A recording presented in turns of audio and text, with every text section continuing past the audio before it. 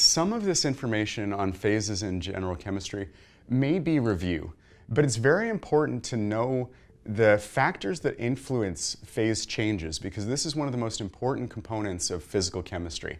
And there are a lot of nuances of these relationships that can be tested.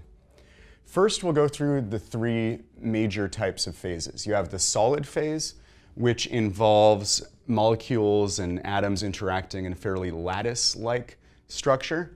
You have liquids, which have strong intermolecular bonds, but they also take on the shape of their container and they flow more freely than solids. And gases, which involve very, very minimal intermolecular forces, but rather a lot of collisions and particles that are spaced apart more than in either of these phases. There are a lot of words you can use to describe changes between phases.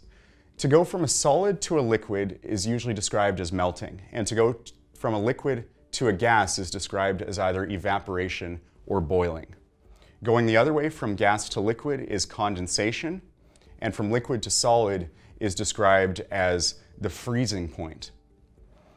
There are words that are used to classify these two movements between solid and liquid in either direction is referred to as fusion. And so if you see the temperature of fusion, that means you're looking at either the melting point or the freezing point, but it can simply be described as the temperature of fusion. Between liquid and gas, it's described as vaporization, and that's a two-way movement that you shouldn't confuse with evaporation. Evaporation is going from liquid to gas, but vaporization can refer to either of these movements.